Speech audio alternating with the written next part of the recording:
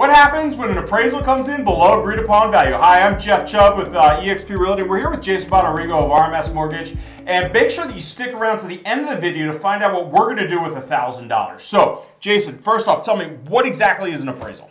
Uh-oh. an appraisal is essentially what we do to certain lenders to certify the value. Obviously, we want to make sure that we're lending the right amount on a market value that's been certified by a third party.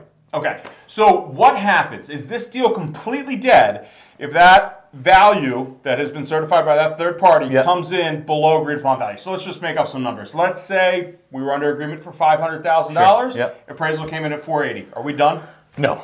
No, the good news is no. I mean, obviously it depends, and I could talk for hours upon the you know the, the differences, but it really just means that we kind of go back to the negotiation table. Okay, so if, what's my first option? The first option for the buyer, and I think we're right. talking about the buyer here in this sense, is that they obviously could just make up the difference in cash. Okay, if so, they have the ability to do so. So first option, make up that difference in cash, mm-hmm. but it doesn't always necessarily mean that I have to bring the cash. Like in that case, the 480 to 500. Yeah. Doesn't necessarily mean I have to bring the fi- the tw- extra, yeah, extra 20, 20 grand. No, no, of course no. not. And again, what I meant by the differences is obviously one, you know, one client or one borrower could put down 5% and one could put down 50%. The guy who's putting down 50% has a lot more options and it's not really going right. to impact the financing as much. So we're going to talk to each individual on a different so he can, he can restructure the deal a little bit. Of course. Probably not bring that 20000 But like sure. I said, the guy who's putting 5% down probably would have to Then we'd have to have, make up the difference or we could talk about, you know, renegotiation with the with the buyer and the seller. Well, and and so that that's that's option 2, of right? Course. So yep. where in that case the seller would go down to $480,000. Yes. Right? Or and they would just, or you would as you know, you would go back to that listing agent and say, "Hey, this is what we have. This is the appraisal. Right. What do you think?"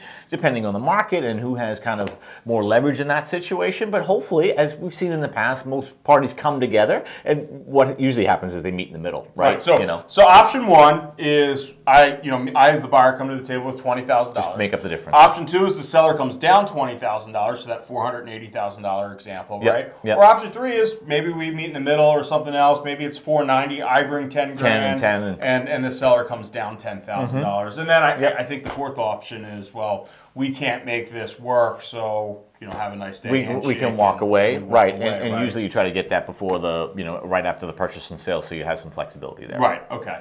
So make sure that you stick around um, and, and and check out our videos. What actually happens when appraisal comes in above agreed upon price? This is what happens when a value comes in below agreed upon price.